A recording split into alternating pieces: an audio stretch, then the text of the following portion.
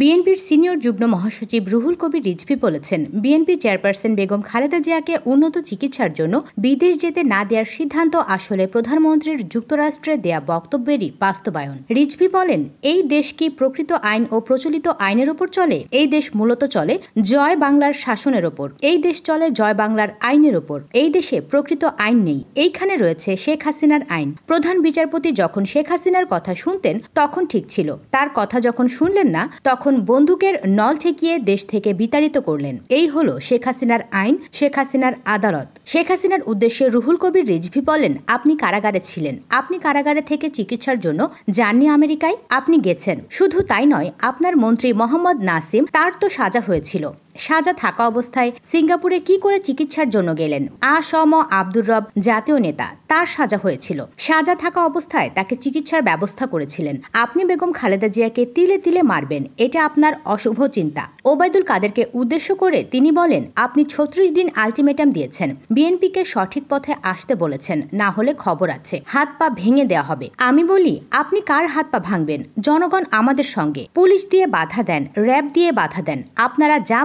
বলবেন তার উল্টোটা হবে। আজ তো চারদিক থেকে জনসভায় অনেকে এসেছে। উল্টাপাল্টা কথায় জনগণ এখন ওবায়দুল কাদেরের নাম দিয়েছে আন্তর্জাতিক গোপাল ভাঁড়।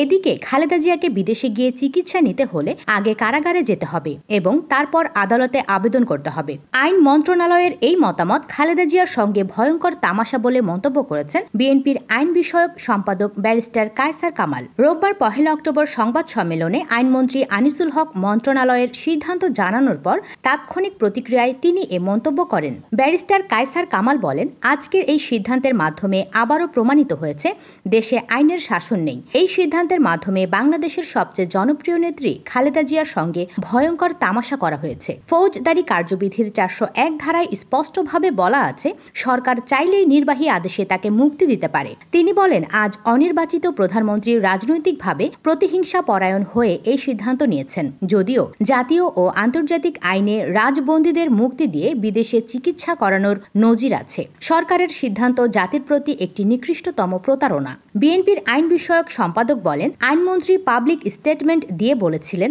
যদি খালেদা জিয়ার পক্ষ থেকে আবেদন করা হয়, তাহলে বিবেচনা করা হবে। তার এই পাবলিক স্টেটমেন্টের পরিপ্রেক্ষিতে খালেদা জিয়ার ভাই গত পঁচিশে সেপ্টেম্বর আবেদন করেছিলেন। কিন্তু সেই আবেদন আইনগতভাবে বিবেচনা না করে রাজনৈতিকভাবে বিবেচনা করা হয়েছে এবং রাজনৈতিক প্রতিহিংসার ফলাফল আমরা আজকের এই সিদ্ধান্তের মধ্যে দেখতে পাচ্ছি। এর আগে রোববার দুপুরে সচিবালয়ে সাংবাদিকদের আইনমন্ত্রী জানান, চিকিৎসার জন্য বিএনপি চেয়ারপারসন খালেদা জিয়াকে বিদেশে পাঠানোর বিষয়ে চারশো এক ধারার ক্ষমতা বলে যে আবেদন নিষ্পত্তি করা হয়েছে, সেটা খোলার আর কোনো সুযোগ নেই। তিনি বলেন, আইনের চারশো এক ধারার কোনো দরখাস্ত যদি একবার নিষ্পত্তি করা হয়, সেই নিষ্পত্তি করা দরখাস্ত পুনর্বিবেচনা করার কোনো অবকাশ আর আইনে থাকে না। ঠিক সেই ফৌজদারি কার্যবিধি চারশো এক ধারার উপধারা এক, দুই, তিন, চার, পাঁচ, ছয় ব্যাখ্যা করে আমরা আমাদের মতামত পাঠিয়ে দিয়েছি স্বরাষ্ট্র মন্ত্রণালয়ে। সেখানে আমরা মতামত দিয়েছি চারশো এক ধারার ক্ষমতা বলে যে দরখাস্ত নিষ্পত্তি করা হয়েছে সেটা পাস্ট অ্যান্ড ক্লোজ ট্রানজেকশন এটা খোলার আর কোনো উপায় নেই।